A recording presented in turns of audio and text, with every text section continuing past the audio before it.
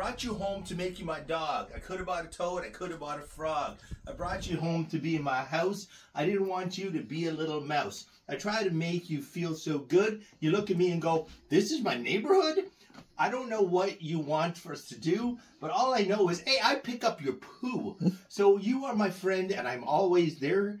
You should always say, hey, hair, you got green hair. You're the guy I want to be around. You shouldn't say, hey, man, get out of town. I don't like it when you bark at me because I try and say, hey, what's in it for we? We are friends and we are together. I don't want you to go, hey, see you later. It's nice weather.